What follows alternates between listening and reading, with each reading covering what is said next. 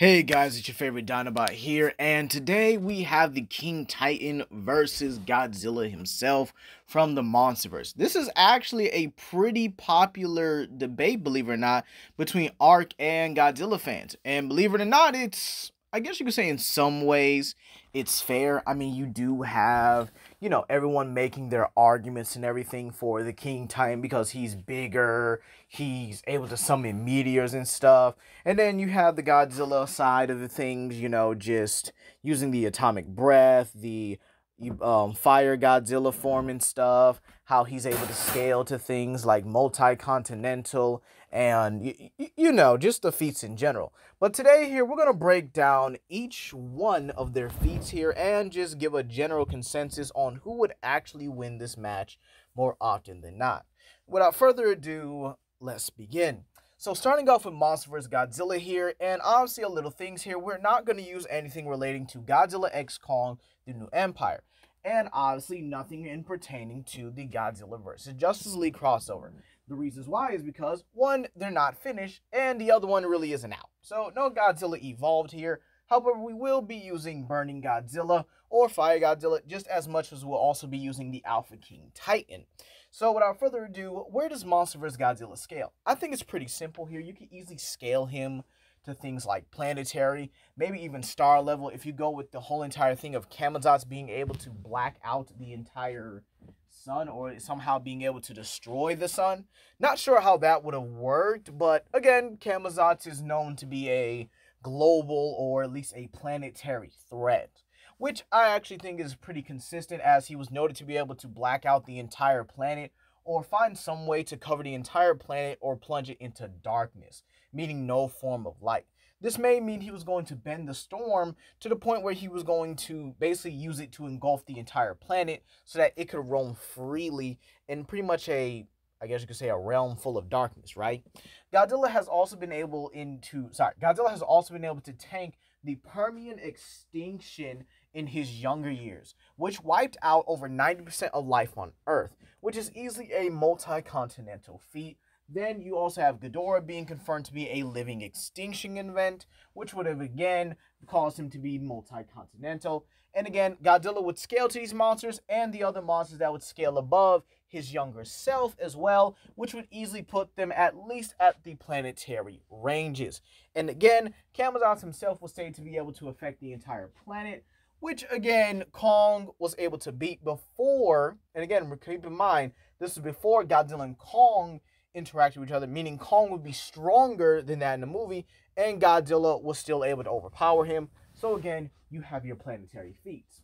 Now, Godzilla has a plethora of hacks and abilities pretty easily. He has his regeneration, which is honestly just, you know, state of the art. You know, um, I'm sorry, not state of the art. Uh, you know, like with every Godzilla. However, Godzilla's regeneration really, we don't know what its limit is just yet. Godzilla has been able to regenerate his dorsal spines after they were shattered and blown off completely by Muto Prime. Keep in mind that means he would actually have like his, you know, radiation or his atomic breath pouring out of his back here, and he was still able to regenerate that. He's also been able to regenerate from cuts, scrapes, and bruises caused from Kong, Mecha Godzilla, King Ghidorah, Tiamat, the Murder Fish, and so on and so forth. Godzilla also has his standard atomic breath here. His atomic breath has been able to push around monsters much larger and sometimes much stronger than him. And he's actually been able to bypass some creatures' immunities to it, like the Mutos and stuff like that, where they were actually able to um they produced this nuclear field, right? Or this electromagnetic field that kept Godzilla from using his atomic breath. Yet Godzilla was still still able to overpower it and overcome it. All right. Then you also have Burning Godzilla. Burning Godzilla, while it doesn't last very long, it lasts like three nuclear pulses and that's it here. Burning Godzilla is a is a transformation where Godzilla's radiation is at its max here. And he has the power of a red giant, again, a star here, going supernova, putting Godzilla at, again, star level ranges because again he wasn't able to destroy the entire he didn't destroy the entire planet when he did it and again this only lasted for three nuclear pulses to which are basically thermonuclear energy, and were able to incinerate Ghidorah, despite Ghidorah's healing factor being to the point where he could regenerate his head and possibly his body. So again, Ghidorah should probably have cellular level regeneration, as he was again able to regenerate his head, including things like the muscle, the tissue, the bones. Okay, every part of him was regenerated, and yet Burning Godzilla was able to just melt that away easily. So, yeah, that would actually conclude for Monsterverse Godzilla. He's easily a planet to star level threat. But now let's move on to the King Titan. Now, Ark scaling has kind of been all over the place, at least for me in general, as I've seen people, I guess you could say, scale the Ark verse all over the place. Some people put at multiversal. Uh, it, uh, yeah, I know it's it's crazy, right? They put that complex multiversal. I've seen people get it to like universal and stuff like that. It's it's ridiculous here. However, from what I've seen, what I've been able to gather, what I've been able to kind of look into myself, especially pertaining to the Titans in general, is that the King Titan dash the Alpha King Titan that we'll be using here, um, is above all the other bosses in Ark, including the other Titans who are kind of next to nothing to him. All right. The King Titan was pretty much one of the few things to cause all this corruption. So he has a, you know, he has these hacks and abilities. He has his fire breath. He can summon meteors, which again, if they're coming out of Earth's atmosphere or the planet's atmosphere, meaning they were probably coming from um, what's it called?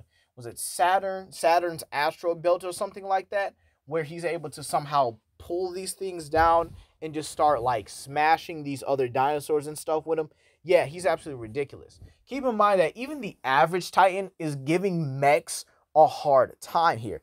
It took both Helena and I think Mei Yin, who both were in mechs here. And keep in mind, these are like the top tier characters in the Ark verse, right? They're like the tippity top here. They, uh, like other than you, you and your character, these guys, or sorry, these ladies are the tippity top when it comes to Ark, right? So they've been able to slay a bunch of these corrupted creatures and stuff, which you can actually scale from, I would probably say around mountain level, or if not island level on a couple of occasions. But again, the bosses here could actually scale from country level, and I've actually seen people get Rockwell to planetary, considering the sheer fact that he was able to cause the, I guess you could say, the collapse of most of Aberration's surface here. And again, he was still able to, you know, survive in the element vat and even mutate himself. But even then, when people put these guys in like versus simulators, the King Titan is still able to decimate a large majority, like a real large majority of all of Ark's bosses from top to finish, including the likes of Fenrir, who actually is like probably one of the closest ones I've seen to almost beat the King Titan.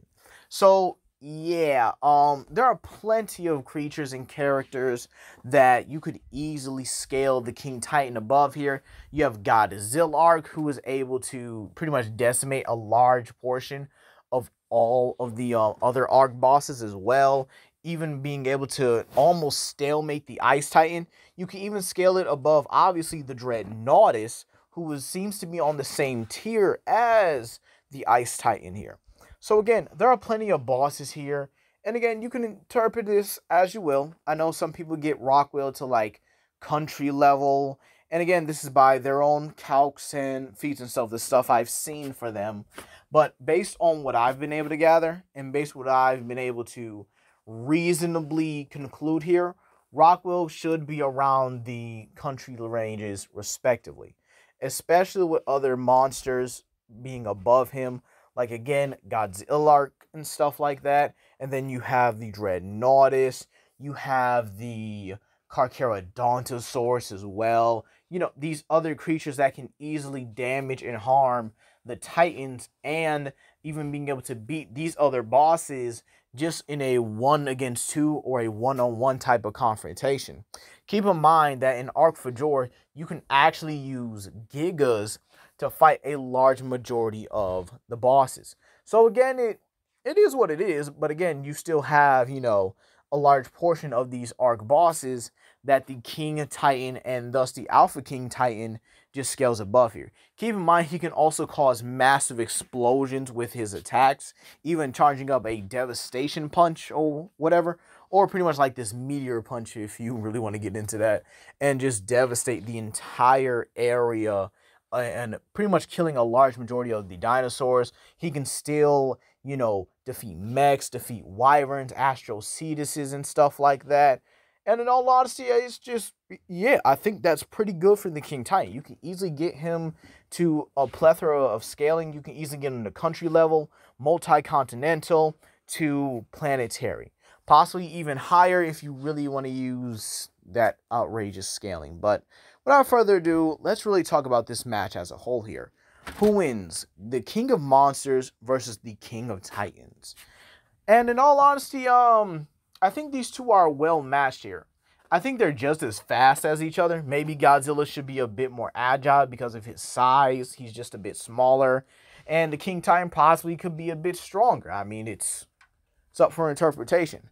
However, Godzilla should be able to tank a large majority of the King Titan's attacks pretty well here. His regeneration is able to kind of carry him through some of the more deadlier and dangerous attacks. And you also have the sheer fact that he's also tanked the Permian extinction, which should have a greater impact than a large majority of, you know, the meteors that the King Titan is using here. And again, I think they both count to each other pretty well. If not, Godzilla's durability would actually be slightly better than the King Titans because he has that that regeneration, that healing factor. And again, like I said earlier, he can tank a large majority of the King Titan's attacks here. I think that this will start off with Godzilla trying to get close in the beginning. I really do. I do think Godzilla will try to get close and see if he could overpower the King Titan. But the King Titan will try to keep him away the best that he can here and try to avoid that physical confrontation until it's absolutely necessary. Because again, you really don't see a lot of, you know, Ark um, beings other than the Mega Mech that are around the same size as Godzilla and the King Titan here. But I do think Godzilla's atomic breath will probably give him a good range and possibly even harm the King Titan to a larger degree than his physical attacks here. Now, if he goes into his burning state, then we have a pretty good um, argument for Godzilla getting in close and possibly even melting through the King Titan's tough, you know, hide, his body, and stuff like that. Overall, while I do think this is a high difficulty battle for each one, I would probably award it to Godzilla. Matter of fact, I would award it to Godzilla at least the first five out of ten times here. I think this is really close, and I do think the King Titan can take it, especially if he starts like spamming on Godzilla. But more often than not, I would more so lean towards Godzilla taking the win here because he can tank a large majority of King Titan's attacks because his durability and the healing factor is just slightly better and he has a lot more long ranged attacks here, or at least a lot more potent long range attacks that can kind of cut through the King Titans. But hey, that's gonna be all today, you guys. Please comment down below, like and subscribe and share it to friends. This is Legendary Grimlock, and I hope y'all have a blessed day. Peace.